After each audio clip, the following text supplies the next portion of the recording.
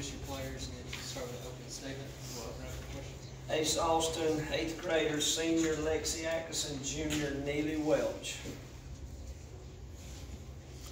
Just, We don't have, not, nothing to state.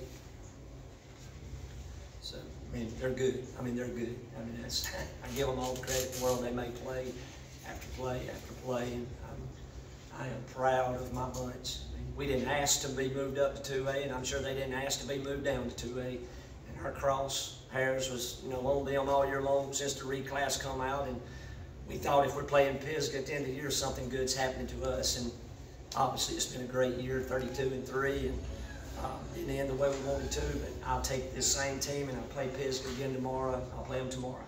So I, I love my bunch, and, we'll do it again, we'll do it again. just so many pivotal plays, and, and you and I have talked a little bit about, you know, if it came down to intangibles and that sort of thing. I Absolutely, we talk about it all the time. Defense, help, rebound, you know, taking care of the ball, value in possessions. Can't have negative possessions at crunch time.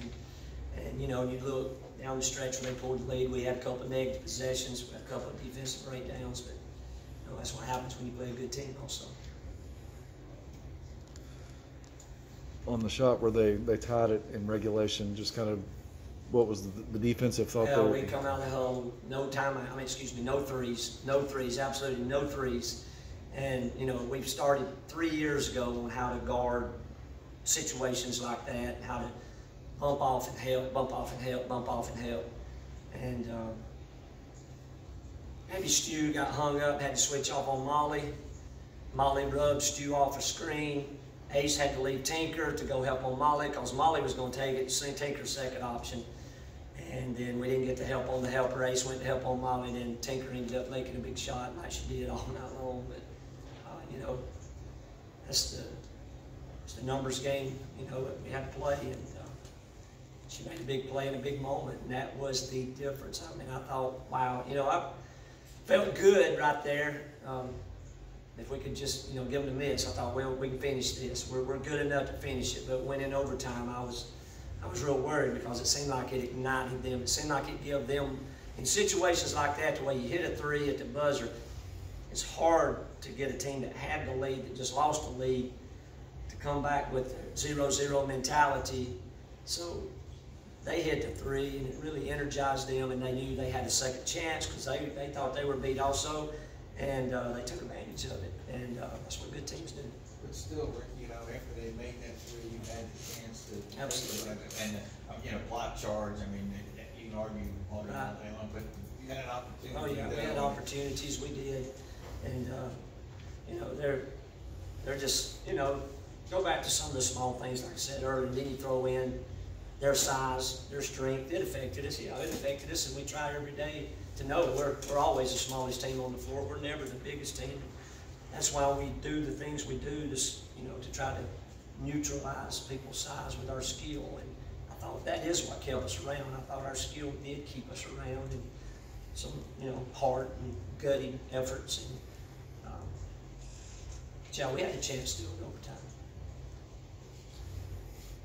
And it was, just can girls kind of talk about that, how tough it was to start the overtime, uh, when they gotten, as you said, team that scores late like that, gets energized, but then they parlay that to the first six points in overtime, and that kind of got you down for the rest of, the rest of the overtime. What was, what did you feel like in, at the start of the overtime when you fell down by six? Would each of the girls kind of share with me what they thought at that, I know you were so confident you were able to come back, but what did that do for you?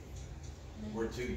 just had in my head that we couldn't back down. We had to keep going as hard as we were the whole entire game. Can't play till, I mean, you can't stop until the buzzer goes off, so that's what was going through my mind. They wasn't gonna give it to us, so we had to fight for it, we had to earn it, we couldn't give up. We knew it'd be a good team from the beginning, and we prepared as much as we could. we was down six at halftime and six at, uh, in overtime, so I knew we could still come back and, you know, I was like, we got this, come on, we just keep scoring. And We finally cut it and then, but they just kept scoring right back on. When, when, Rick, when they were talking about big plays, maybe before the girl hits the three to tie it, maybe as pivotal would have been that reverse out of bounds, thing in front of your bench, maybe Right, twenty right. seconds before. Yeah, that- I didn't even think it was a close call. I think that he just had a bad angle, but it, it for sure was deflected. She almost got a whole hand on the ball, so, yeah, I thought that was a big, big moment also. And, you know, one of the biggest moments of the game, I told Lexi after the game, is Ace missed the free throw and Lexi pulled a rebound. And I, I thought, wow, if we win this game, that's the biggest rebound of her career. And, uh, I thought that was a good effort on that rebound, because she did not have position. She just, she just gutted out a, a, huge rebound but, you know, the rest of it just didn't bounce our way. Neely, when you, when you drove to the basket at the end of regulation, I know you were going to the basket hard, what do you re- recall about that play? I know they ended up calling the charge, and I'm like, looking, how they do that, but, and I'm not getting you to rip on the officials, I mean, that's not what I'm doing. I want you to break down that drive and what you wanted to get done, going to the basket to score. I had to do, like, I saw the time and I knew I had to get to the basket and I realized I needed to score that layup to go ahead. And I guess once I got down there, I just lost the ball and I got out of control. But I just tried to shake it off and go on to the next play. That's all I could do. Good. Ricky, you talked about the reclassification. It came down to a number one versus number two game in overtime. How do you feel like you all adjusted this first year? Oh, I, I've never thought our teams that were good enough to win it in one A, I've never thought we weren't good enough to win it in two A. I thought we could compete, because we play above our head all year long. We play, you know, we don't play single A schools when we're one A. So, um, you know, it, it really surprised me. Um, nothing surprised me all year. I, I, I think, I mean, I am very proud because, just because I believe that don't mean the players necessarily believe that. And from day one, that they've never been intimidated or, or thought, you know, this is a different, you know, environment than we've been in and too big for us. I never, one year, did I, I, I felt this team being so, uh, even to our shoot around this morning, they were so confident and so hungry. Um, it's just, uh, it's almost like the same years we've had in the past where we just didn't win, but everything else is just, it's just been pretty smooth. It's been a smooth ride. Outside of Kaylee Kurt getting hurt first quarter of the season and the COVID stuff we've dealt with, which hadn't been much on our end, it has been one awesome year with this group. We've, we've won some big games and, um, had great days of practice. And so all year long, Joe, it's been, it's been fun. It's been fun up to this moment. And I even told the girls, start overtime, this is fun. You gotta love this, this is fun.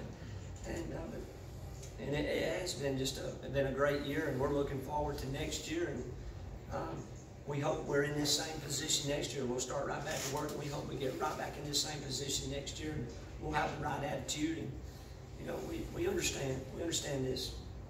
Probably facing the same team. Well, I hope so. I mean, things have been good. Unless you, an area runner-up, had to travel to their place because they're across. But yeah, you're right. That's position we'd like to be in. Girls, just to touch off of what Coach was, was talking about, uh, you know, your first year in two A and everything. uh, I, I know you would have loved to play for a state championship this year, but just, you know, touching off what Coach said, just talk about the, about the season. It was anybody's to the taking. We thought we belonged here just as much as everybody else, and we were here to prove that we belonged here. We were playing with a chip on our shoulder. You could, well, I mean, we, I thought we had a chance to win, we could win it all, and I know they did too, but we'll be back down here next year. Numbers don't mean anything to us, one A, two A, I, we can play any of them, just as long as we believe in each other. It was an amazing year for me, and I can't wait to get back. Coach, I know you scouted them, did your, all your homework, but how, kind of out of left field was Emma Ellison's contributions? Who's? Emma Ellison, number Oh. fourteen. Yeah, um, number fourteen, yeah, she, she's caught my eye a couple of moments, but number five is so stinking good that she replaces that I probably overlook fourteen some. I've always, it's almost like you, you get a chance to relax when fourteen is on the, you know, no disrespect to her, but five is a heck of a player. She's a, she's a bulldog and, uh, Uh, I thought Lexi battled that. I looked at rebound numbers and five scared me. Thought she was the X factor as far as the, the, the rebounding margin that she might be able to put on. This way she crashes the offensive boards. And, uh, the fourteen did do a great job coming in offensively and, uh, I haven't seen that kind of offensive production out of her all year, that to that. It's been hard to watch them. You haven't gotten to scout as much. There's not many games on the NFHS with them. It's been a hard, it's been a hard film to find. And uh, so, you know, we just took three or four we got and did what we could. Young had more loose balls.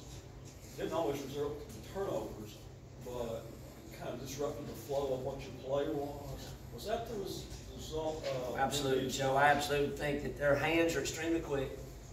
I think they're very quick and they're always touching you.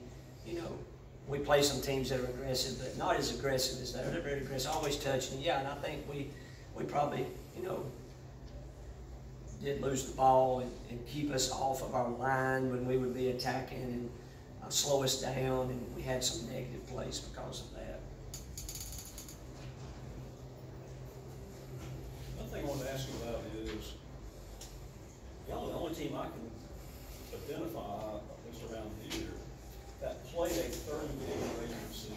You played all, every game that you could have played, you played. How'd y'all do? Got lucky.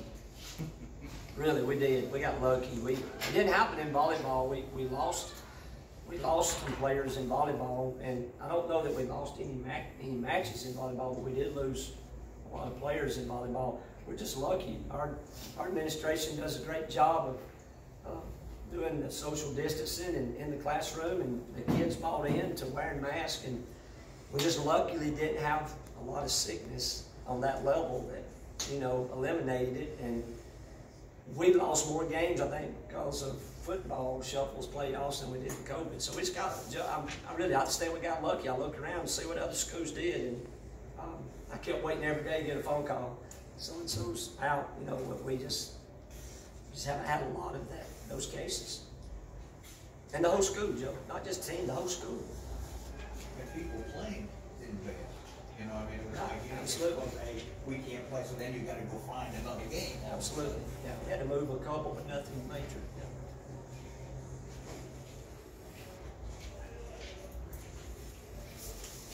Any other questions, Coach?